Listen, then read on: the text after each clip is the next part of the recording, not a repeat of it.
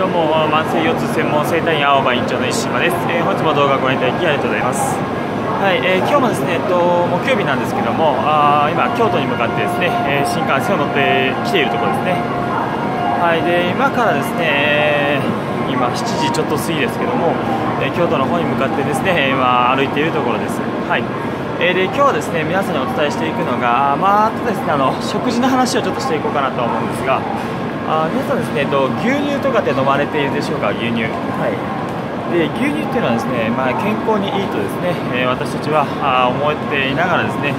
えー、ずっと生きているかなとは思うんですけども、えー、やっぱりです牛乳っていうのはあまり体に良くないというふうに言われています、はい、実は体に良くないというふうに言われています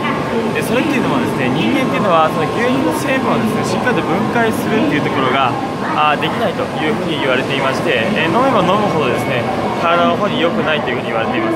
はいなので、えー、乳製品であったりとか牛乳をです、ね、取り続けるということはあの体に良くないというふうに言われていますね。はい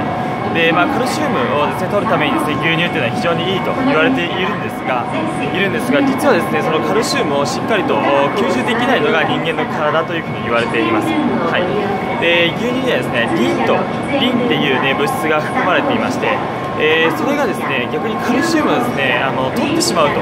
いうふうに言われてしまいます、はい、ですので、えー、牛乳を取ることによってかえってですねカルシウム不足になるということが、えー、あるみたいですね。特にアジア人はですねその乳製品に対しての耐性というのが強くないので、えなかなかですねその栄養素を吸収できないというふになってきています、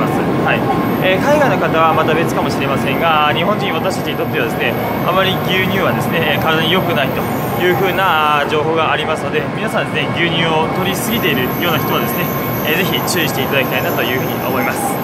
はい、えー、それではですね今からまた新幹線に乗ってですね京都の方に行っていきます。はい、また皆さんにですね有益な情報、健康に対する情報というところをですねお伝えしていければなというふに思いますので、えー、動画あ、チャンネル登録してですねまた見てください。